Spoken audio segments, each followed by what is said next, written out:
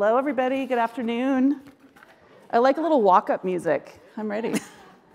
ready to talk about math. Um, well, welcome to the panel. You, you have arrived at solving the math equation inside our K 12 math crisis. Um, I, my name is Anne Wicks. I lead the Education Opportunity Team at the George W. Bush Institute in Dallas, Texas. So if you're a Texan, come up and say hi. And we've got four great experts with us today to talk about this issue. I'm not going to read you their full bios because you have them, but I want to give you some good facts about them. And I need my glasses, of course. Uh, next to me, we have Shalinee Sharma. Shalinee is uh, the CEO and co founder of Zearn, which is a nonprofit education organization behind the top rated math platform in the country. It's used by one in four elementary students, one million middle school students around the country, and it's free for teachers online. Good to know. Jessie Woolley Wilson is the CEO of Dreambox, and she is a veteran EdTech executive. Um, lots of good experience in this space. Dreambox is a K 8 digital math program that's designed to complement a school's math curriculum. It's adaptive to every student. You'll learn more about that. Um, Bob Hughes is the director of K 12 education in the US program of the Bill and Melinda Gates Foundation, which has made math a significant strategic priority. Before coming to Gates, Bob led a network of schools in New York City, among other things. And finally, we have Kumar Garg, who's the vice president of partnerships at Schmidt Futures, which uses the power of networks to solve specific problems and then creates platforms to scale those solutions um, more broadly. He led work on STEM innovation and policy as part of the Obama administration, among other things. So please join me in welcoming our panel to the stage.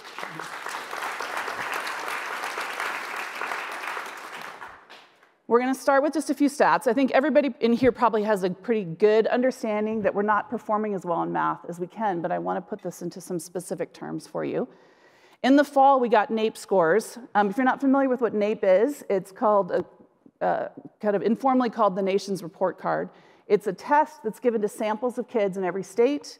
It's done on a regular basis, has been done for decades, so it gives us a really good apples to apples comparison over time of how kids are performing.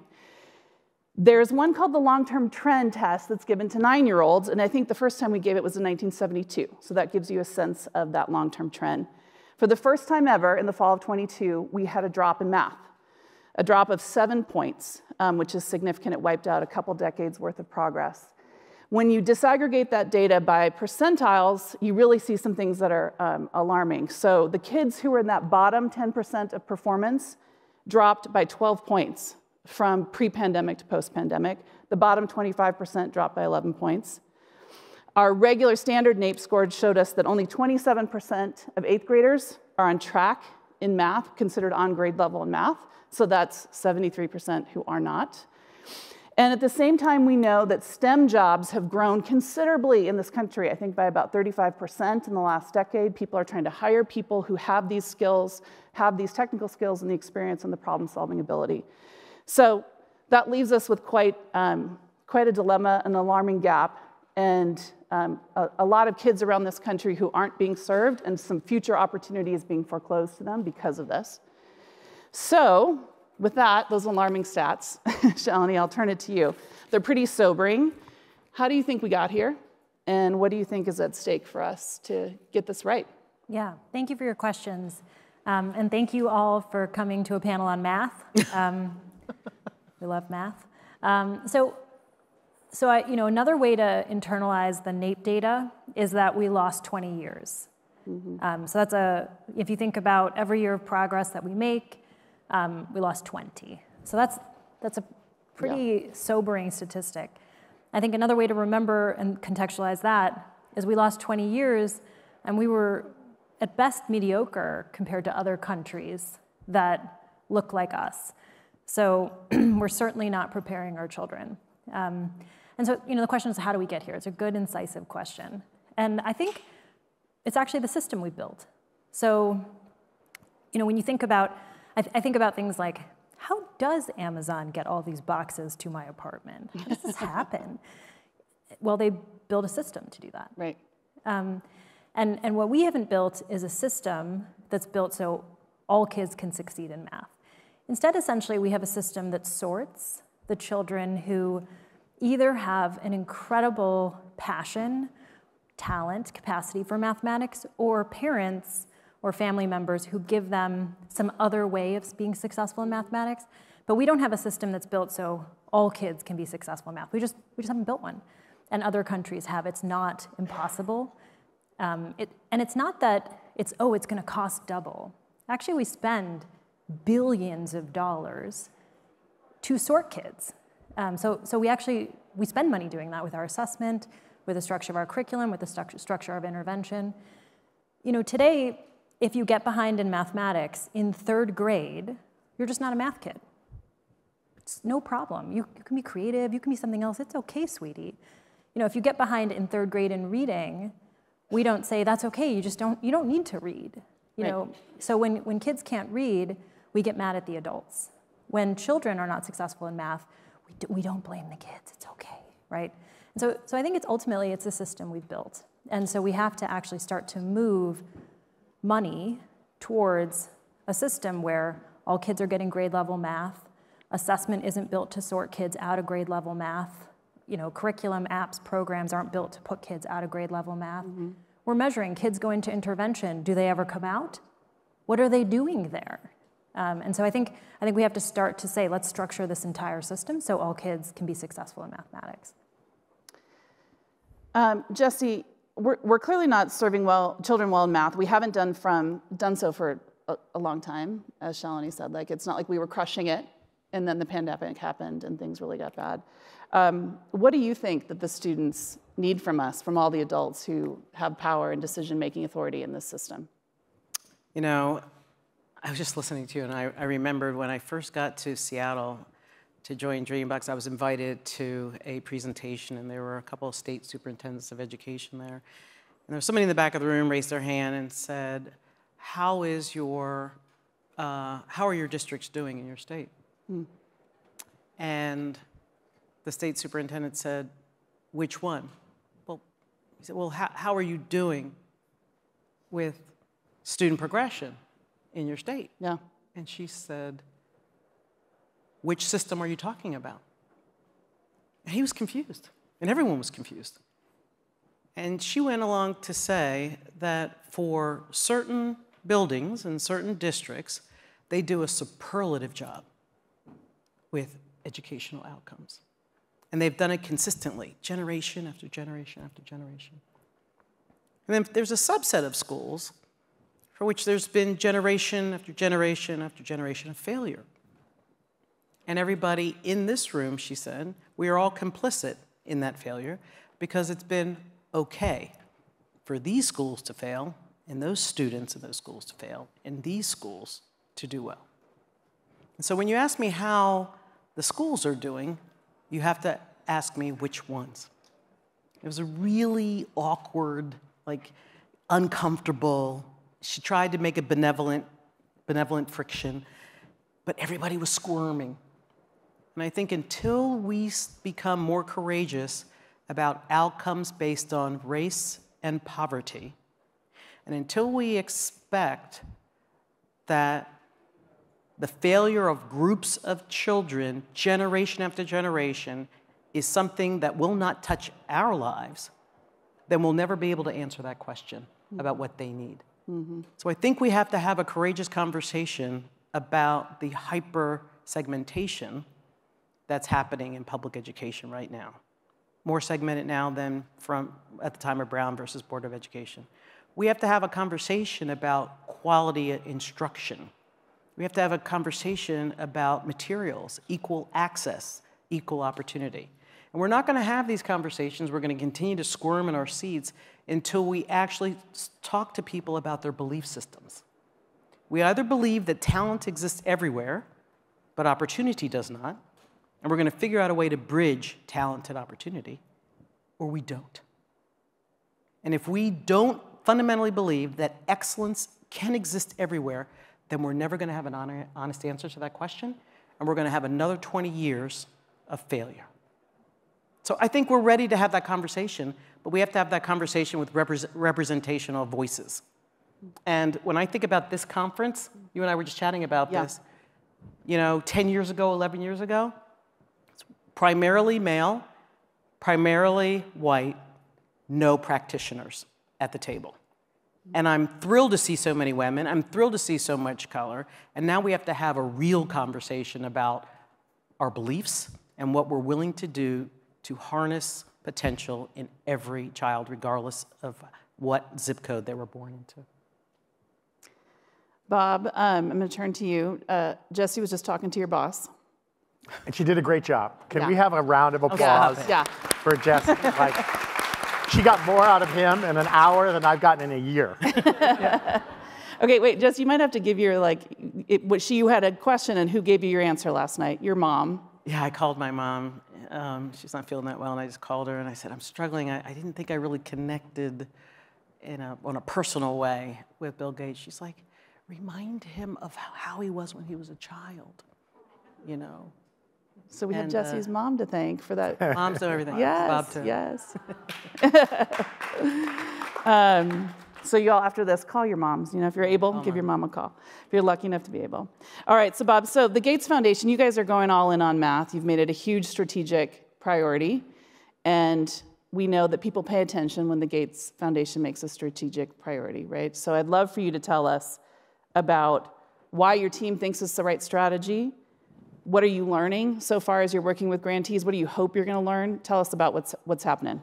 Well, A, it's great to be here and great to see all of you, and thank you for your interest in math. Um, I think there are a couple of things that led us to math. One, you saw today the passion of our leader. Math made a difference in his life.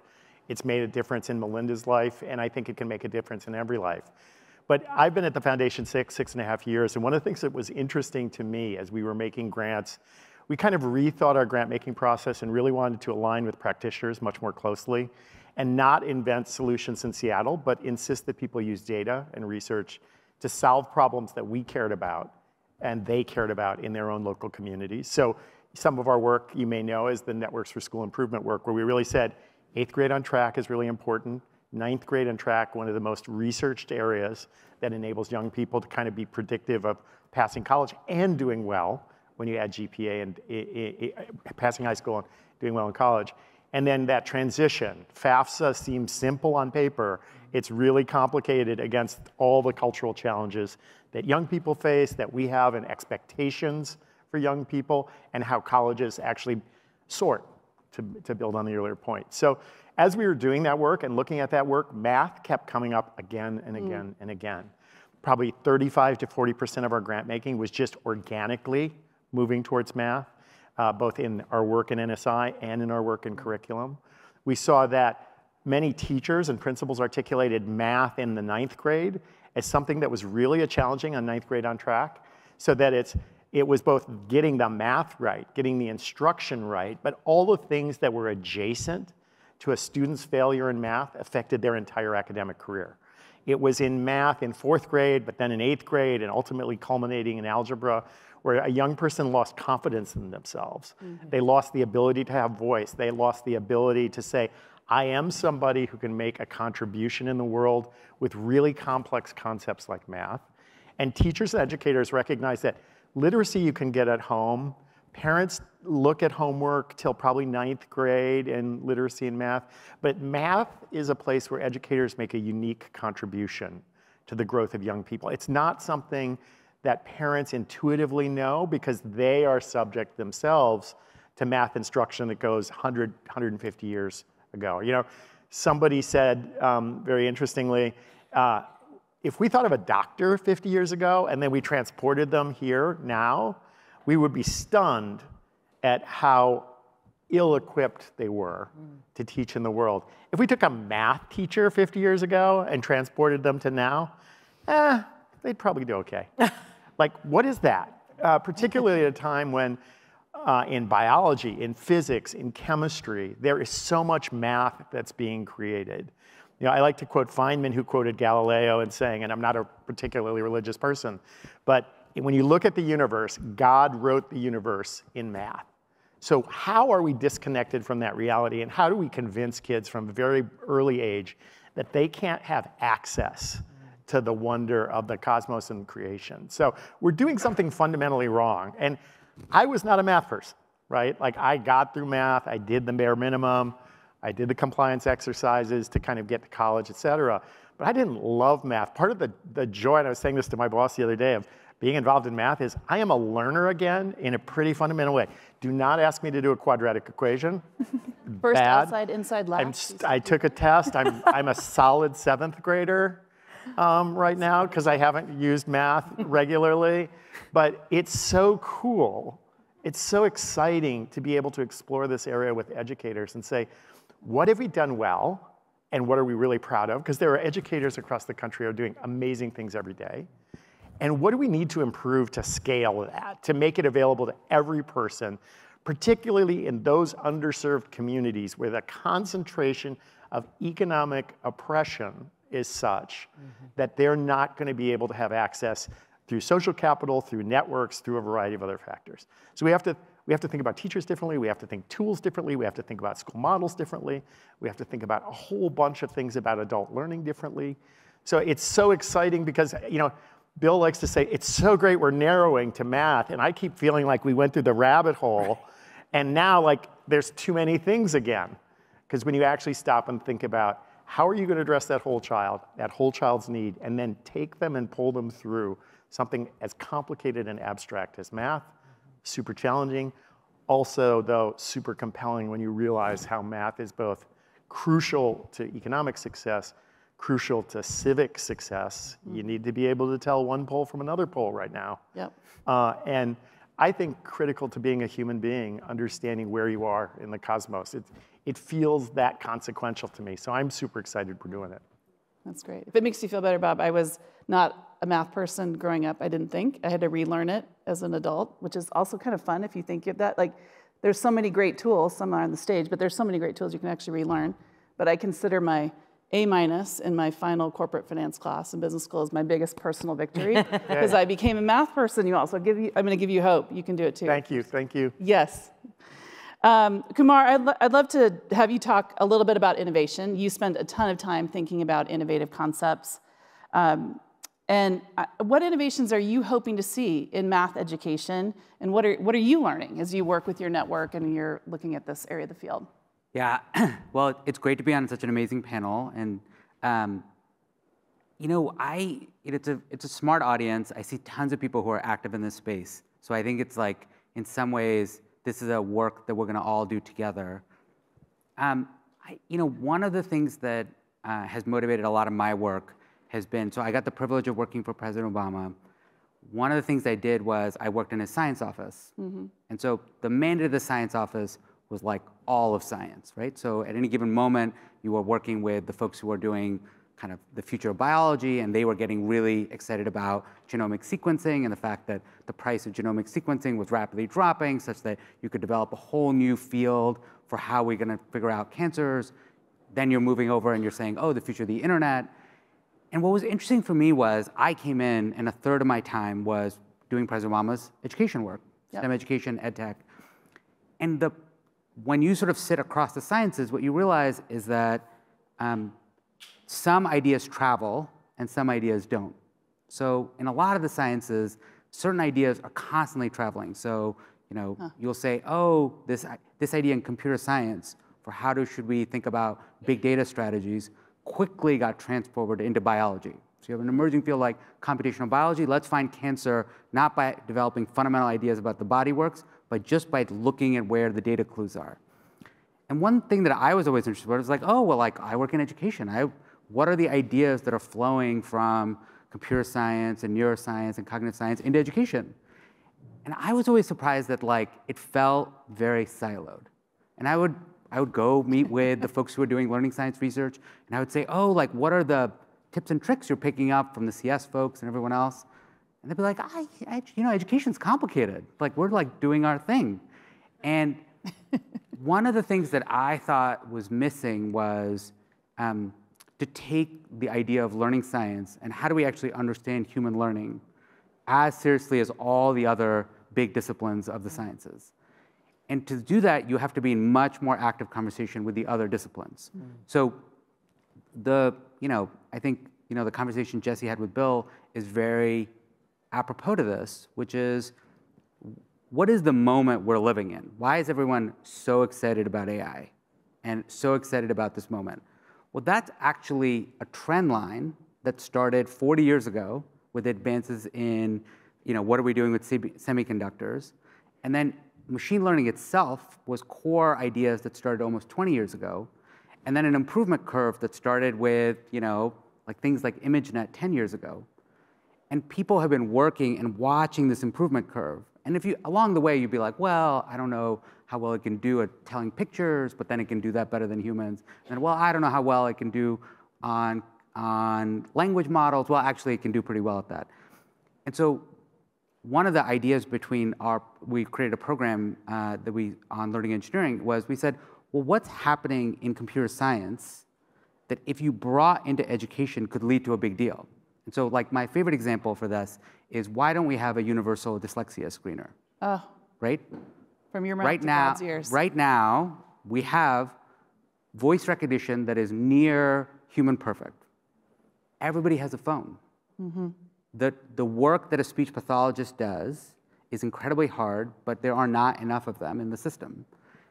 The work that you can do to be able to allow a child to read a piece of text into a phone and then to be able to track to see whether there are early warning signs such that they can get, actually get scheduled for an in-person visit all those capabilities are there. And then I will, so the question is, is like, why don't we have that? And part of it is we actually have to create rooms where the folks who are doing cutting edge work on these yeah. new tools are sitting with the folks who are in the problem space. So what I think is super exciting about this conference is just in the past few months, you have this like huge interest as folks who are active in the in the um, education community starting to say, how can I use these tools? And my big sort of push to this room is if you're reading about AI and large language models, but not actually experimenting with them, you're making a huge mistake, which is what all the other fields are doing. What the biologists are doing is they are doing like weekend sessions where they will try to see what things can I automate, what things are easy, what things are hard. And if the education community kind of imagines a future in which these things matter but doesn't actually experiment with them, it's not going to get farther. So we're like entering this age of tinkering and what I would recommend is like actually have your teams try this stuff and actually put it to use and see what works. Because for folks who are actually trying it, a bunch of stuff doesn't work, and some stuff is like magic. Yeah, it's a great challenge. That's a great challenge, and it um, it leads me a little bit into this next question. Uh, Shalinee and Jessamy, I want you to take us back actually into the classroom right now, what you're thinking about because of the work that both your organizations do. You spend a ton of time in classrooms with teachers and with kids. Um, and so I want to talk about what this looks like for them. So Shalinee, I, you and I were chatting before about jobs to be done. We share a sort of intellectual crush on Clayton Christensen and that principle, which I just love. I think it's such a, if you're not familiar, part of his research was around what is, what is the job to be done that your product or service can do. If someone's hiring your thing to do a job for them, they will keep hiring that person or they will fire it or that product if it's not doing the job. I was just thinking about Kumar, what you're just talking about, right? So, Shalinee, what I know that that idea is really meaningful at Zearn, and what are you learning from teachers and principals about the job, the job to be done that they're using Zearn to do? What do they need? Yeah, yeah, we've um, you know, so we founded Zearn about 10 years ago, and the it's true what you're saying, Kumar, that um, the kind of openness to oh, that's cool, let me play with that, is less prevalent in education. And there's a bunch of structural reasons. I mean, you have children, um, you know, we put a lot of trust in schools, and the idea that like people are going to be playing with strange technology with our kids is, is not the most compelling way to speak to you know, families. So, um, so as a result, schools are, I don't mean this politically, I mean this factually, they're conservative because like kids can't get lost, right? Like you drop your kids off, and then when you come at the end of the day, they should be there, right? So they, they have to they have to play it safe. Um, but we still wanted to 10 years ago. Really, you know, Zearn is the majority of employees of Zearn are former teachers, and it, we were built by teachers for teaching. And so we really wanted to do a job for teachers. Um, but that sometimes meant spending a little more time, because if you initially ask them, what job can we do? And they're like, oh, grading sucks. Can you figure out grading yeah. for us? And we're like, okay, but you know, could we do more? Yeah. Because while we'd be happy to automate grading for you, we were hoping to transform math education in America and make all kids math kids, and I'm that's not going to do that. Um, but sure, there could be an app for that. But that's not like that's not really the transformative work we're hoping to do. Um, and so in this dialogue, you sometimes have to suggest things and bring things out. But I think what we've come to, and, I, and a, a silver lining of the pandemic is that this really has come to fruition. And what I'd say the job to be done is that teachers, principals, school leaders, um, district leaders, governors are asking for mm-hmm. is to help catch kids up and move them forward in math and for students who are, who are already in a great starting point in math, accelerate them and challenge them further, right? Because, because if it's true, if our, you know, if our NAEP scores are showing us where kids are, that means the majority of kids cannot do grade level math. Mm-hmm. But these jobs that we're talking about and the you know, requirement for economic mobility is that you can definitely do grade level math and beyond. So how do we solve this dilemma? Do we let this entire generation just fall waste and just hope the next ones we figure it out?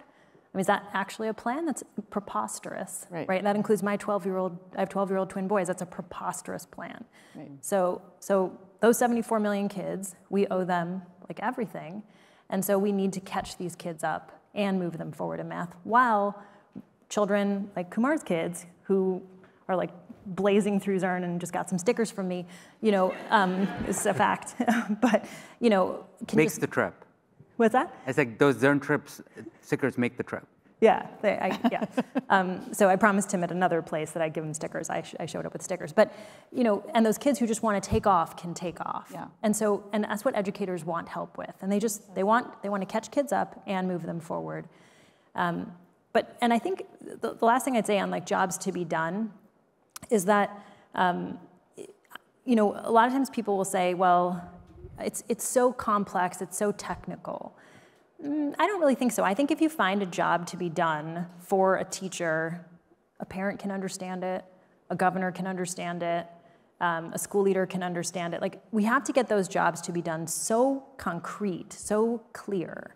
Um, and so, so for us, the job that we're trying to do is we're the students who are, are currently low scoring are going to get to grade level. Students who are currently high scoring are going to have a fantastic time learning mathematics. And we're just going to, we're going to get all kids there, which means catching kids up while we're moving them forward. Yep. yep. Okay, Jessie, um, what, you, what can you tell us about what your team at Dreambox has learned about uh, the supports that teachers and principals need when you're, you know, successful deployment of Dreambox in a, in a school? Um, what does that look like? Tell us a little bit about that. So, a successful implementation, it seems so fleeting.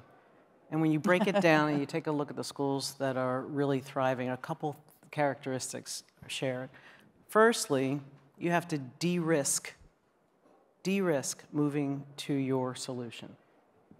There has de risk moving to your what? I just solution. Solution, yep. So, administrators see risk, they are very conservative. Teachers see risk, they have no time. And you're at, whatever you're asking them to do is additive. And students see risk because they don't want to fail. They, don't, they want a positive experience that delights them. They want to have fun, like Bill had fun. So competitive. and so the administrator has to know that it works. And, and in 2017, there were about 600 um, technologies in a classroom. In 2021, it ballooned to like 1,400. Mm-hmm. So now a lot of administrators are figuring out what am I going to keep and what do I get rid of? What, what's the rubric that they use? And increasingly, I think the ed tech community is at an inflection point where they've embraced the notion that the only thing that really matters is what works. Not for a subset of people who had hyper investment in professional development, who had the best master teacher. No, for the average. Mm-hmm. And so you have to make sure that you're committed to efficacy and that it'll work for all kids and for all levels of teacher readiness. De risk for the administrator. You have to de risk for the teacher because the teacher has no time. You have to give them, you have to create positive gravity that they want to spend a little bit of their precious time with you. You have to acknowledge and honor that they have no time. And so at Dreambox, we developed a solution that only requires one hour a week. It's five lessons. One hour a week is digestible to a classroom teacher. And with one hour a week, we're getting phenomenal results like you saw in the South Carolina results that we published today. So you de-risk it to the teacher because you, the teacher knows that every minute, every hour that she gives to Dreambox in partnership with Dreambox is going to be a win for her and a win for her student.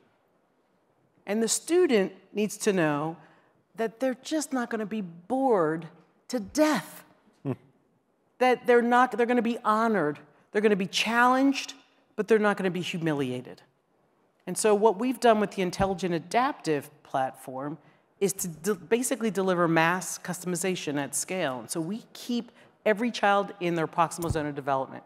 We give them formative assessment that's integrated seamlessly into instruction, and that turns into an experience where we're actually adapting the pedagogy so the lesson is neither too difficult nor too easy. So there's embedded rewards. You want to, you're getting success, but you're challenged and you're feeling, you're feeling like Bill Gates. You're pretty good. You're going to leave your book on the, on the desk because you know you're on it and you want everyone to know you're on it.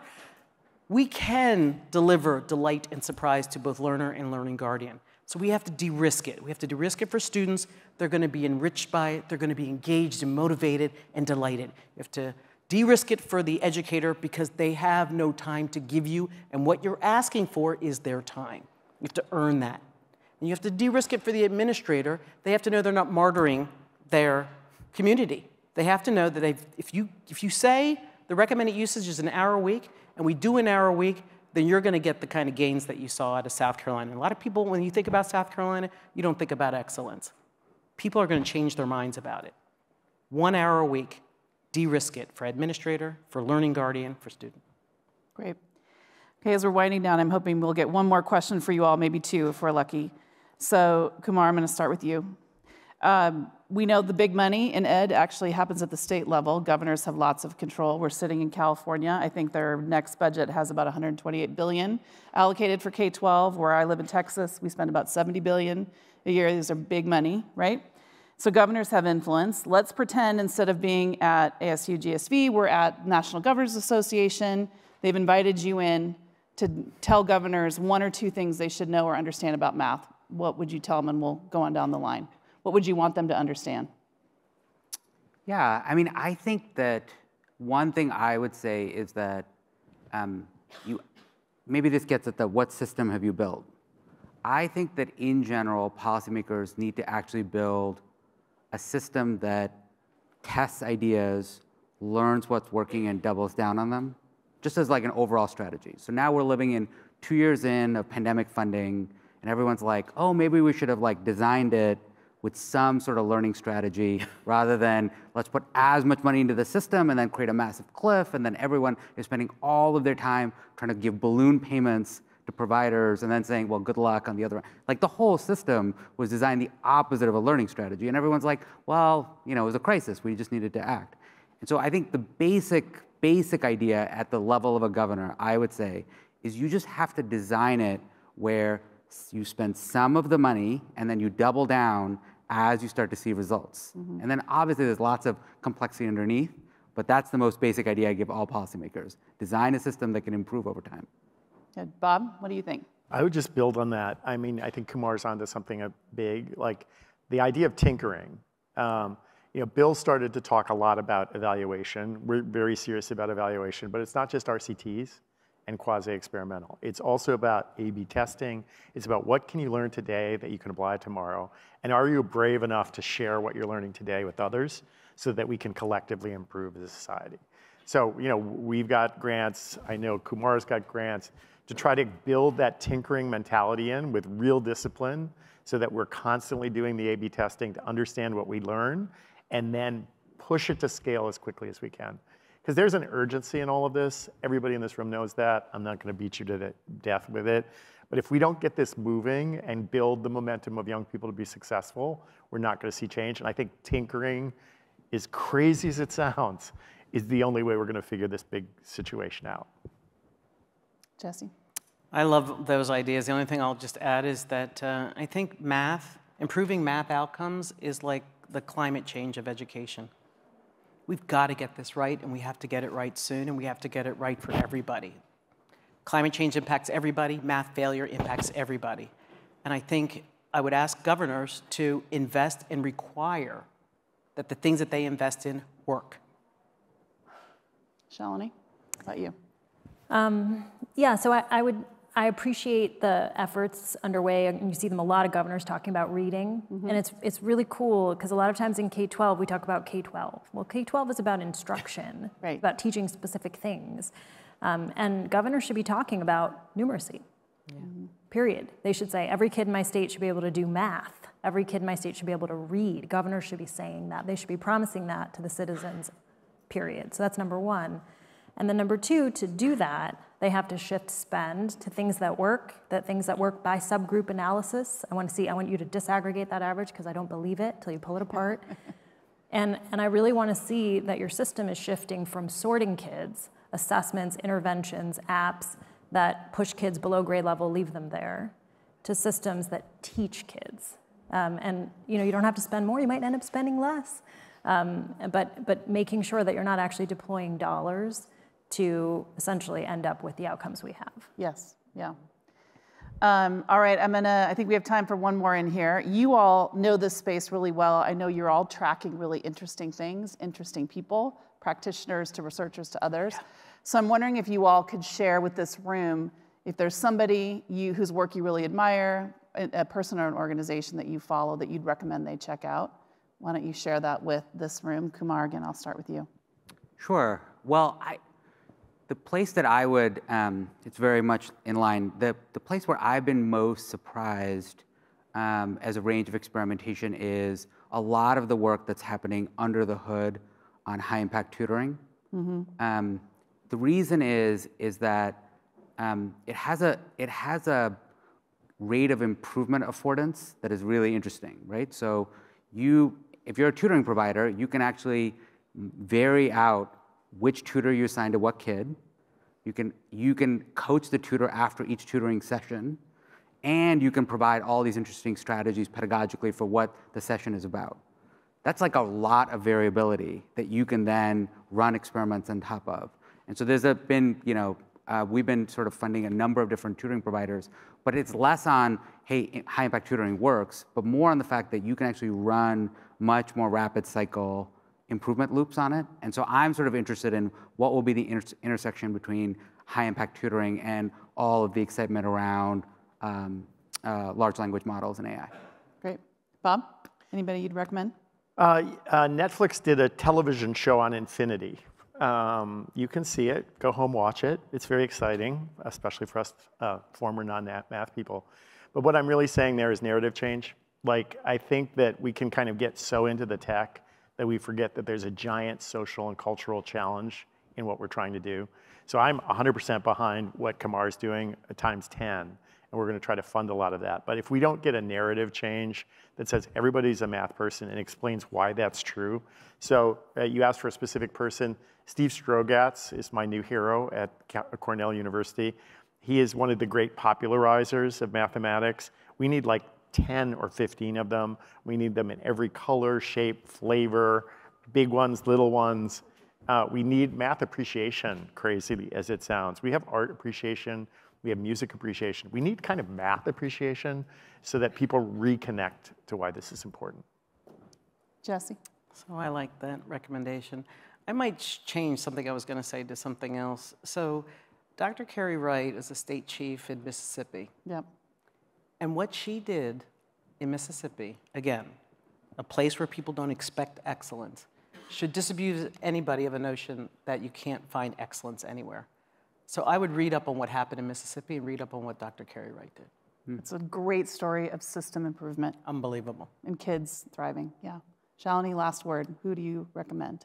Yeah, I'm just kind of connecting the dots. I think that we should actually look at states that are doing very interesting things in math. We have a, the privilege to partner with lots of states, but specifically Colorado. Governor Polis is here tomorrow.